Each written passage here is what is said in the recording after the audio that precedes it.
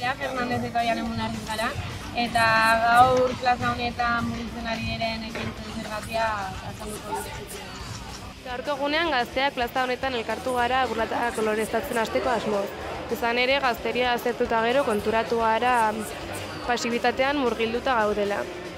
Hori dela eta inbatekintza antolatzea erabaki dugu eta horri hasiera emateko gaur burlatzaren erdigunean dagoen plaza bat okupatu dugu hori apaintzeko asmoz.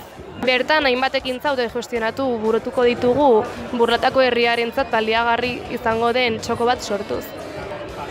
Honekin batera, un autogestionatu baten beharra erakutsi nahi dugu, zein gazteen arazoi aurre egiteko ez dinbesteko tresna dela uste dugu.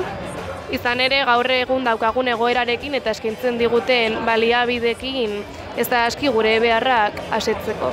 Beraz, honekin murlatako gazteei deialdi bat egiten dizuegu, hemendik aurrera burutuko diren ekintzetara batzeko, guztien artean indartsuagoak baikara.